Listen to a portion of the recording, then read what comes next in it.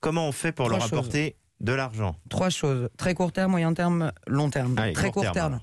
euh, vous me l'accorderez, avant la relance, pour aller chercher des sous de la relance, encore faut-il être en vie. Hmm. On a 5 à 10 000 associations qui sont en danger de mort, je vous l'ai dit.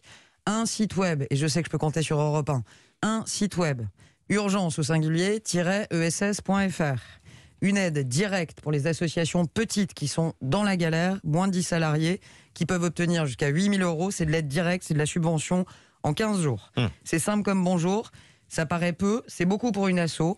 5 à 8 000 euros, on peut passer un mois ou deux mois de trésorerie et on peut ensuite aller chercher les sous de la relance. Deuxièmement, le plan France Relance.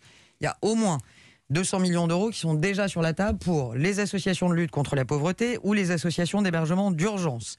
Deux grands appels à projets de 100 millions d'euros chacun. Le premier appel à projet pour aider les associations de lutte contre la pauvreté est déjà en train de décaisser au moment où je vous parle 50 millions d'euros. Très concrètement, ça m'a permis d'apporter 400 000 euros à une association Paris 3e, La Chorba, qui offre des repas, repas gratuits aussi. à Mm. celles et ceux qui souffrent et qui galèrent dans Paris. Et là, il faut postuler pour ces là, associations pour en bénéficier? Vous avez toutes les infos sur le site web de mon secrétariat d'État. Vous tapez ESS, vous arrivez sur le site de Bercy. Oui, Pour non, ceux je- qui n'y arriveraient pas, excusez-moi de donner autant d'adresses, mais c'est important.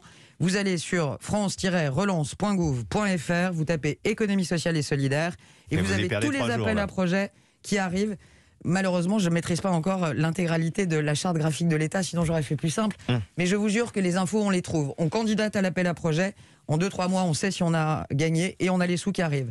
Troisièmement, il faut penser long terme. C'est pas uniquement les crédits du fonds de relance qui permettront de mettre à mal le problème de la trésorerie de nos associations. Une proposition de loi arrive le 12 mai, portée par Sarah El Haïry au Sénat pour améliorer la trésorerie des de assos. Moi, je bosse très concrètement sur les fonds propres des associations. Il y a des prêts participatifs pour les entreprises. Je demande à la Caisse des dépôts, mais aussi à la BPI qui travaille avec moi, de permettre de renforcer les fonds propres de nos associations qui, le cas échéant, à la prochaine